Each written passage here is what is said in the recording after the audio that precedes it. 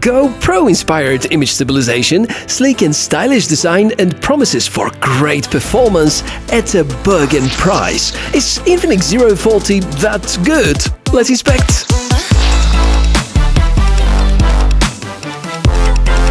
This, my dear friends, is called the Zero 40 5G, and I say the 5G because there's also a non-5G version with a weaker hardware, not as cool as this one. This comes from Infinix, yet one more model where you kind of want to gate and buy it even before knowing how it performs in reality because of the partnership with GoPro and JBL in order to tune some of the parameters and also the pretty awesomely sounding front camera because 4K at 60 frames per second sounds like quite a big deal and also a lot of other great specifications on theory. And this is why we're here, in order to explore everything, to figure out where are the corners cut, if any, and how much all these promises are matching the actual real life performance. And of course to have some fun and to explore more cool tech, because this is what I do here. Nice to meet you, I'm the Tech Mishka. Time to go. Let's go for exploring the design and the build quality by focusing on the display first. It is one of these phones that come with curved glass display, you either like it or not. Definitely, this decision makes replacing or repairing the display more challenging, but undeniably it makes the phone feel slimmer. Not that this one is bulky anyway, quite the opposite, just 7.9mm thickness, and it is one of the slimmest phones with such a large battery inside. You can grab one with a different color, of course. Good news is that Infinix matched the color of the protector as well. In fact, part of the assembly, and hereby I offer you a short extraction out of the unboxing, we get not only a rear protective cover, but also a screen protector, which fits perfectly well if you have the patience to correctly place it on the top. If you plan doing so, make sure it is right at the start before you actually use the phone in order to get this perfect fit. If you decide to skip this step, well, Gorilla Glass 5 takes care about preventing from scratches and cracks. The brightness is very decent for a mid-ranger, and Infinix call it Flexible AMOLED. It is LTPS, meaning that it can switch between a few refresh rates, 60Hz being the lowest and 144Hz being the highest. The pulse width modulation is surprisingly high as well, and this is quite important because some people are sensitive to lower values. Infinix claimed that it reaches frequency of more than 2300 Hz. According to my tools, not as much, but still excellent. The back of the phone is plastic, but feels like frosty glass, so well done. Perhaps something that will easily take scratches, though. The phone is IP54 splash resistant, so make sure to never drop it in the pool. All the control buttons are on the right side, no headphone jack, but you can of course use a Type-C to 3.5mm adapter if needed. And of course, the most remarkable part on the back fits within this big circular area. The camera setup is fairly interesting. The main one is fine, backed by the Samsung HM608 megapixel image sensor. It is the same as what we have with Xiaomi 12T and Redmi Note 13. It is good, but not spectacular. Daytime photos are well balanced about contrast and texture. Colors are good, no issues with the white balance, exactly as I hope to see it working. At night, the optical image stabilization certainly helps a lot, and most of the shots will look fine, and with a bit of help from the AI processing, the results are close to excellent. In some cases, not too far away from the quality of flagships that cost nearly a few times more than the 40 itself. The ultra-wide camera is also well usable. I'd stay away from nighttime photos captured with it, but for sunny days, it is a good match. I guess here the big focus is on the front camera because most of the smartphone vendors deploy a basic image sensor there, yet often capable of Ultra HD resolution just in order to say that it can record in 4K. Infinix go one step further and add the ISOCELL JN1 image sensor by Samsung, something that a couple of years ago was backing the main camera setups for phones such as Redmi 12, Nubia Neo 2 and so on. And not only it can record in 4K resolution, Video frame rate goes as high as 60p. The interesting area about the phone is the video stabilization, because for the main, the ultra-wide and the front camera, you're gonna notice that in some resolution the stabilization can be set to Ultra Steady Pro, which, okay, funny name, but in some cases it is close to the effectiveness of the latest GoPro action cameras. A side-by-side -side comparison is of course interesting about the ultra-wide shooters.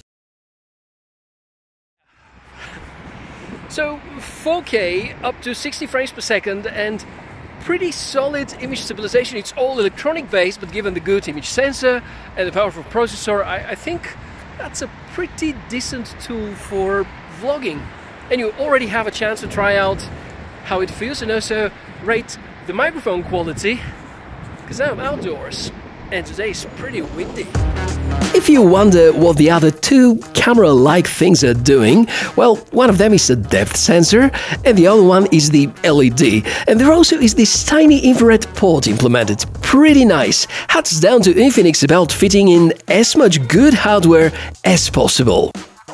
In a matter of fact, since we talk about good hardware, the phone is backed by Dimensity 8200 Ultra, which gives 040 the edge when comparing side by side with competitors at prices below $450. One of the few more beefed phones I can think of right now is the Poco X6 Pro, but the cameras there are not on par with the quality over here.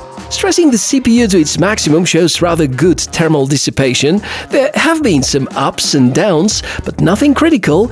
And here's a fun fact. On theory, the Tensor G4, which powers the latest Pixel 9 series, has superior specs but in reality, the CPU inside 040 has better sustained performance, especially when it comes to gaming or long-lasting CPU-intensive tasks. Regardless of benchmarks or daily tasks or stressful for the system challenges such as video editing and gaming, 040 seems to keep its cool and performance is about right. If you're more concerned about the tech details, which you will anyway find in most of the other reviews, there are loads of RAM, a lot of storage, triple camera setup on the rear, high-res audio tuned by JBL, a 5000 mAh battery which can even be recharged wirelessly, FM radio, fingerprint sensor, proximity sensor and weight of the phone is around 195 grams. That's a really bright sounding list with specifications. Uh, kind of unexpected, uh, unexpected because of the price point of the Infinix 040 5G, remember? The processor inside is a very nice surprise because it's the Dimensity 8200 Ultra, which is just below the flagship line of MediaTek, meaning exceptionally good performance, at a very good price, very good thermal characteristics, very good match to people who plan to edit a lot of content and videos on the go using the smartphone. So apparently Infinix go big about the specs with 045G. The battery, for example, 5000 mAh, and yet the phone is so slim. Charging is as fast as 45 watts, and this here must become a standard Android feature for everyone. Infinix give you the choice about how quickly the battery is gonna be recharged. And now, let me give you a tip about adding some emotions to this charging process. The sponsor of this video, Pixel Cable Pro, which is the first 240 watt capable fast charging app controlled cable on the market and promises to redefine your charging experience. Comes with OLED display and ability to add custom animations while you charge your device. It will definitely help me a lot in the future as well while testing smartphones because it can measure the power input and confirms the promised 45 watts by Infinix. Inside the smartphone app, you can conveniently choose among various animations, texts and stats to be shown, and it is supported by iOS and Android phones both. So hurry up, open the link to Pixel Cable Pro from the video description, reserve yours and get used to a completely new experience while charging. The 040 can also receive power wirelessly and supports reverse charging, so pretty decent so far. If only the power consumption was a bit more efficient, because it feels more like average, according to reports up to 5 hours of gaming and 8 hours of heavy use, but it very much depends on the screen brightness, the CPU load and so on. To put it in simple words, The battery life, when heavily used, is superior compared to Samsung-made chipsets due to the more efficient CPU architecture here, but standby times are not superb due to the rather heavyweight OS pack which is the next thing I want to showcase. If you like a lot of customizations, this could be the real deal. Inbuilt call recording feature, Infinix homegrown smart assistant, some AI functions, app cloning, themes engine, you can find a lot of little treasures that will enhance your productivity and are not to be found with certain competitive products. At the same time, the so-called XOS, which at the time of launch is based on the current Android 14, feels surprisingly lightweight, something that I never got to sense with Xiaomi's HyperOS for instance.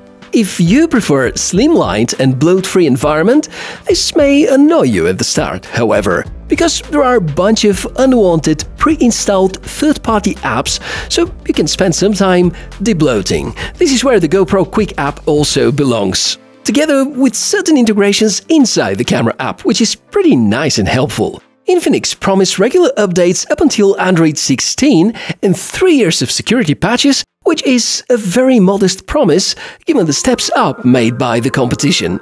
I'm pretty happy with the connectivity side, problem-free phone calls, super stable reception, even better than my current Galaxy S24, and there's a physical proximity sensor for accurately detecting the presence of your ear in order to shut the screen off while you're talking. Saying this because of the struggles that some people have with other brands deploying just a virtual one.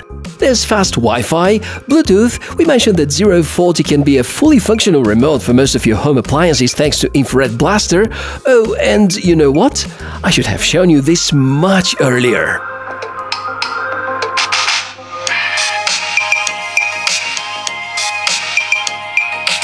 Yeah, the audio experience is so good.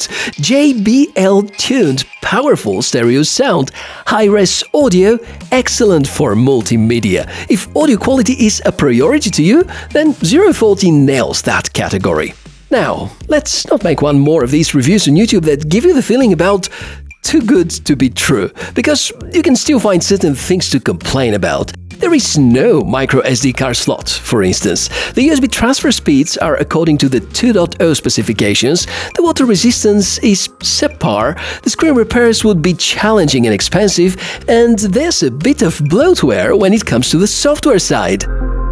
If I may summarize it thus far, uh, I feel that uh, the 045G somewhat remains under the radar, most likely because Infinix as a brand is not that present in North America or, or Europe but it seems to provide fantastic value ratio. Because if this smartphone is present in the country where you live and is on your shortlist, I would very much recommend it because of the excellent performance, because of the pretty good camera setup at this price point, the very good working battery, the quick charging and all these features that we have explored together. I think the hardware for the money asked is spectacular question marks are around the software because yes, you do have bloatware. At least we know that there would be three years of software updates, hopefully something that Infinix is going to decide extending at some point. So yeah, if that's on your shortlist, definitely I think it's a smartphone worth checking and worth considering. Well, if you want to get to know more about it, check the video description for more information, of course for a link to buy the phone or anything else so that you can support my work here on the channel without paying anything extra from your end. So that's everything about this episode. Thank you very much for watching it. I'm the Tech Mishka, invite you to subscribe for more cool tech inspections and can't wait to see you in the next one. Bye!